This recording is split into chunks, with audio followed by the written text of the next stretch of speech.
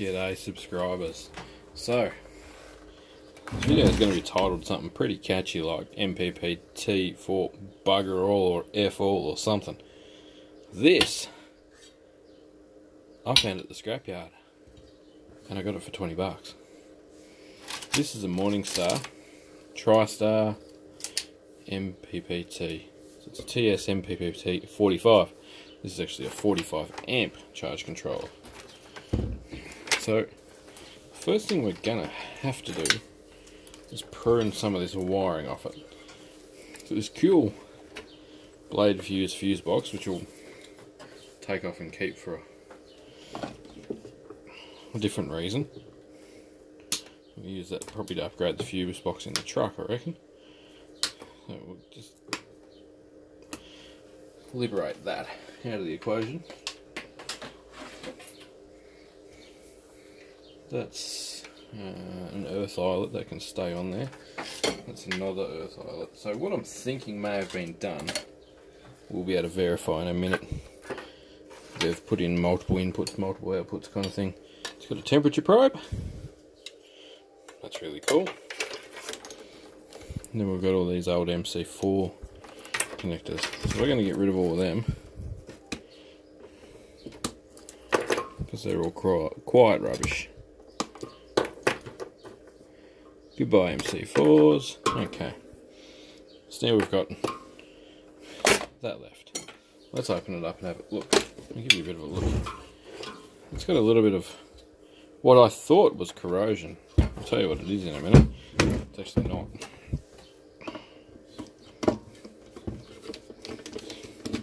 Let's whip it over to make sure it's all good inside. See, one of the things that I was really worried about when I picked it up um, was the bits of rust and bits and pieces. And then the guy at the scrapyard goes, after I give him the $20 for it, he goes, oh no, it was working. This is installed in like a portable site shed thing with three batteries that my mate Clinton's just put in his camper van. This was still a going system when it rolled in the scrapyard. He only took it inside to get the aluminium and copper off it. So,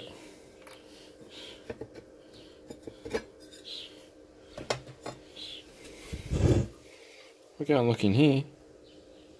It's all but clean. All the dip switches are there. Temp sensor wires there. So it'll cut out if you get it too hot. As our uh, negatives are all bridged together. As our solar in comes. As our charge out goes. How bloody simple is that? So I'll take you off the stand. We can have a better look inside. It's got a RS port for communications. It's got a remote meter port, which I have to get one off Matt from Solar Taz because I really I like the I like the analytics. That's why I like this. And we can we can flick through and see what it's doing. You actually hear it pulsing because we've got 35 volts getting fended off. battery banks are essentially full.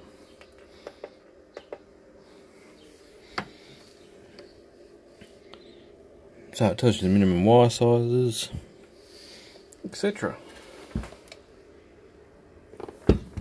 Long story short, it looks rough,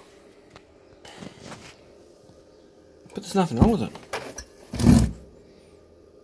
Maximum PowerPoint tracking 45 amp MPPT. So this big old beast. Some more specs on this side. Maximum input voltage 150 volts DC.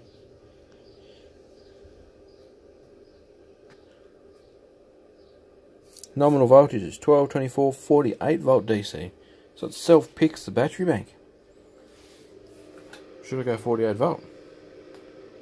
I can make that 48 volt at 240 ampere. I need an inverter then. But that's the thing. This opens up huge possibilities. And it cost me 20 bucks. So, I'm going to give this a hit with some WD-40. And the, uh, and a yeah, WD-40 soaked rag and clean it up. There you go. That's what they've done. Just absolutely unbelievable. Nothing much at all wrong with it. Just looked rough. There's a switch there. Push to reset, hold to equalize, start and stop.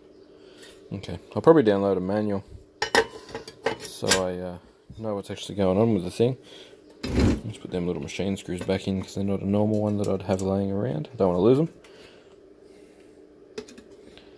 But there you go. Here I was thinking it has been in the ocean or close enough to it. No.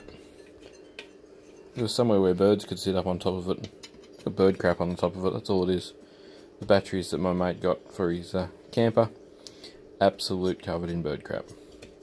So, that's what's wrong with it. As you can see, it's vented to let the heat out of the inside. It's well and truly heat sunk. We're about to upgrade to a 45 amp charge controller. Which is really good because these are 30s. The battery's well, less than full now. Um, I'm not getting bugger or solar at all, actually. Um, just going under a cloud.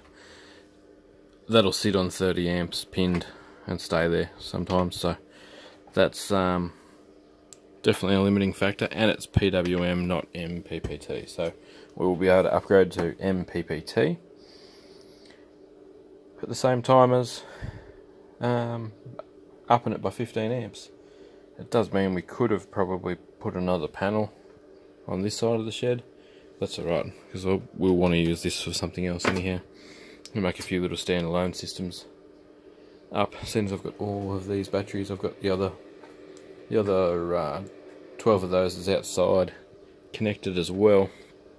Doing a bit of a um, gentle cycle up and down. They're getting charged by the solar and getting used by the system in here, but they're yeah, there's like over 2,000 amp hour in here now. Um, yeah, 2000 amp hour and